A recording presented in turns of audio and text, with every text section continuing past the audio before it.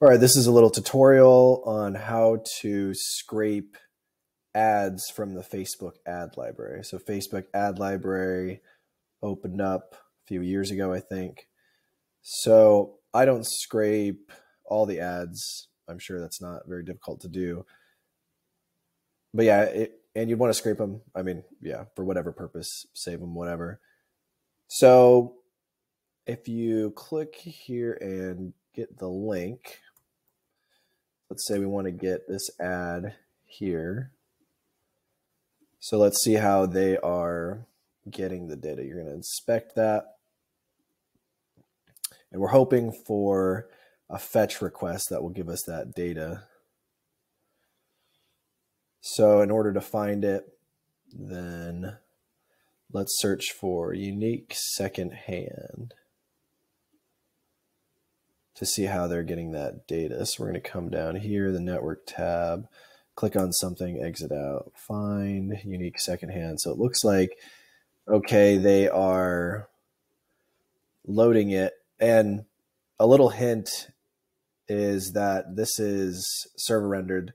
Looks like it's either Next.js or whatever their own proprietary uh, server rendered framework is because if you come here, you can sometimes see if there's uh, yeah, next data on the window. If there is, they're using Next.js. But these guys are using React, but it doesn't look like they are. But they're also server rendering it. And how you know they're server rendering it is they're putting stuff, they're putting the data in the script tag.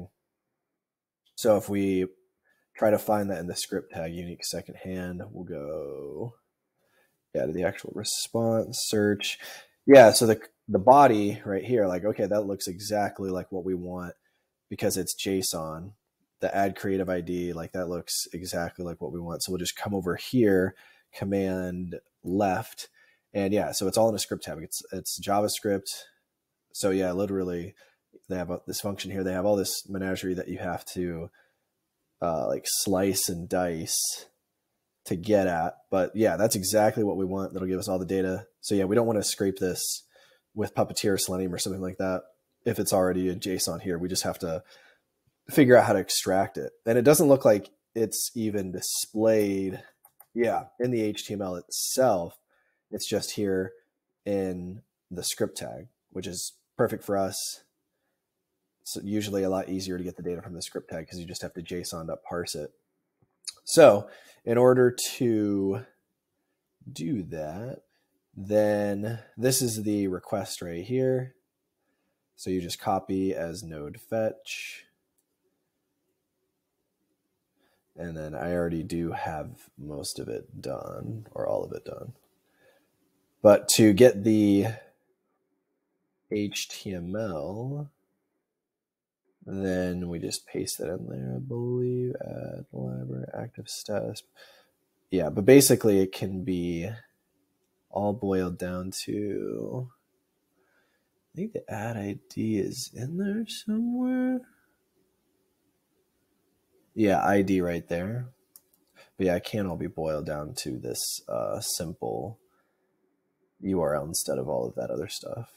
And because you copy ad link, like that's that's what it gives you is this URL up here. And then it the Facebook ads, all of this other crazy stuff in the URL, the query parameters. So anyway, you just paste that as a node fetch, and then yeah, await res.text to get the actual text because this is the HTML.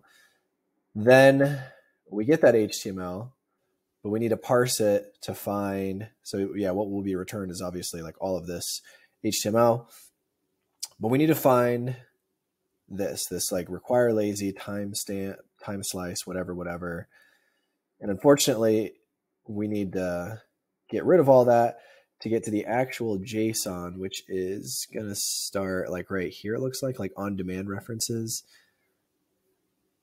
Yeah, so you just have to figure out where that starts. And then, yeah, unfortunately, you have to slice uh, the rest of this off. And yeah, so that's what I do with get ad data.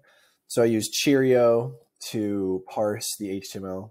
So I find like all of the script tags, and then if the script tags, like if the children data, whatever, includes cards, then I know that, or I think I have the correct script tag, and then I have to parse. Like I, I do this pretty janky, but I find the index of constructor, and then like the constructor curly, and then this non-blocking preloaders index, and then uh, yeah, I think I just loop over the start and end index. Yeah, because element JS substring constructor curly end index plus one and then parse that out. So yeah, I have to do a bunch of like nasty things to eventually get it. But what's nice is the final product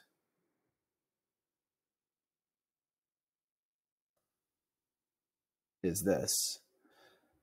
So you have like all of the data that you could ever ask for. The ad ID, end date when it's running is active, snapshot, uh, ad creative ID cards. This gives you a bunch of great data. And we probably wouldn't have even had access to that if it wasn't for this JSON, if we just tried to go straight through the HTML. So they have CTA, caption, creation time, page ID, a page name, URL, Instagram URL, Instagram handle, which is unfortunately nothing right now. Spend, start date. Yeah.